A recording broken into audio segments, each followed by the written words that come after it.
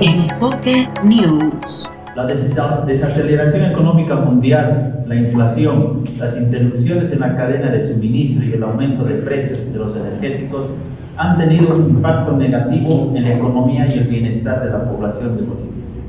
La disminución de las reservas internacionales netas y un eventual aumento del salario podría generar una mayor volatilidad de la economía en el país.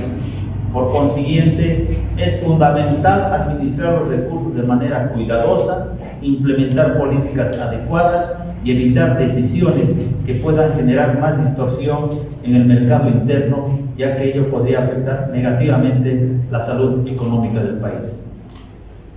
En las conclusiones que hemos ido determinando, podemos decir, el excluir al sector privado de las negociaciones del incremento salarial que provocó el cierre de empresas, el incremento del desempleo y la declinación de la productividad en Bolivia.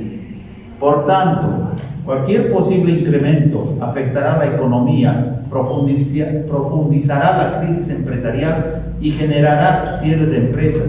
A su vez, fomentará la informalidad, el contrabando, reduciendo el aporte impositivo al Estado. Valoramos la voluntad del sector privado y público para abrir canales de trabajo que permitan abordar las problemáticas económicas.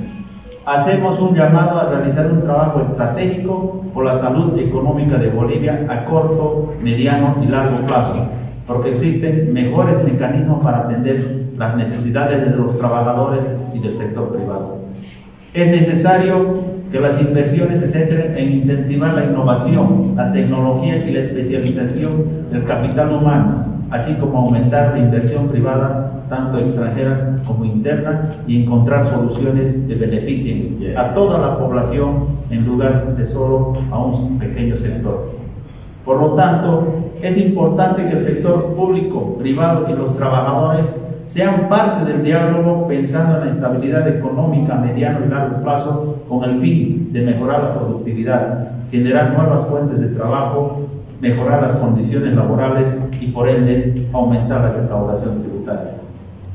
Las políticas públicas y las acciones del sector privado deben estar enfocadas a potenciar la productividad y potenciar a sectores que aportan al desarrollo de la economía. Sin embargo, los indicadores de crecimiento en nuestro país reflejan que nos hemos convertido en una economía de gasto y consumo. Esto no, va, no permitirá garantizar el desarrollo y el crecimiento. Enfoque News.